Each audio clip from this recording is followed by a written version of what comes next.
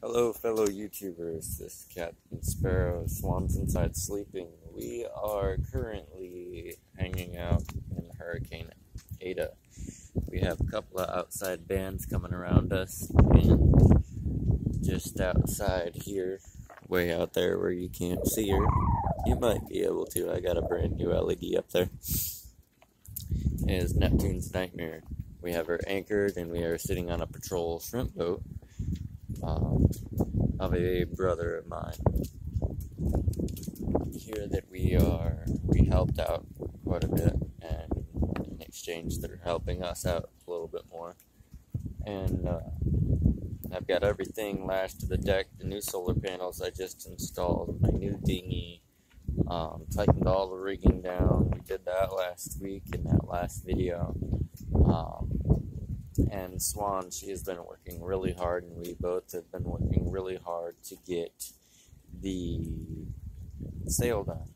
The junk sail is there. The first prop, I'm going to take paracord, five paracord, to do lashings to lash the sailcloth on the tail so that it gives it that correct look. And it, it's going to hold. I'm going to go ahead and try that and attach my main sheets to it. And we are going to go forth with this. We are no longer going to go back to the marina. I have made the decision that we're going to try this. It's a big step, but I believe. That's all you got to have in life, is to believe and know that everything is going to be okay. And that I built her strong you guys went along with the journey with us, and there's more to come, more through the journey, more adventures now. It's not just to build out, now it's an adventure.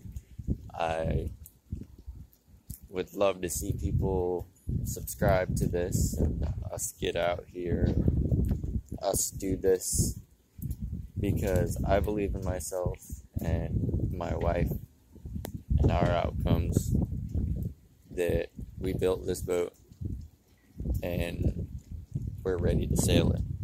And I would love for you guys to come with us and adventure on and like and subscribe this.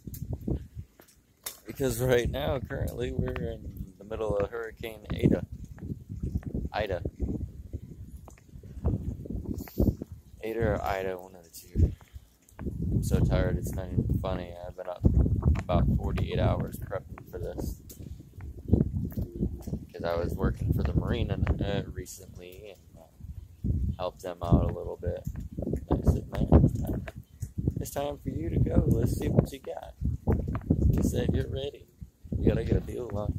And that's all we got on the motor. Uh, the motor's fully updated. I gotta get another fuel line because I upgraded the fuel line system for a coupler to go down to my original fuel line.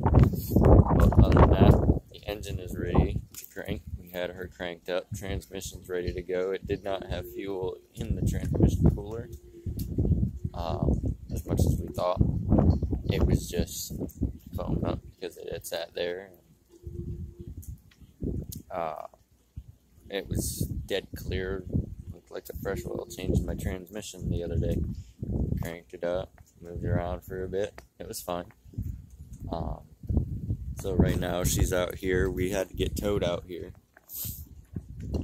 um, to this exact location.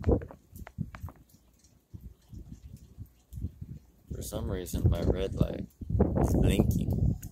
I don't know if it's because it's bobbing in the water or what, but my red light is blinking.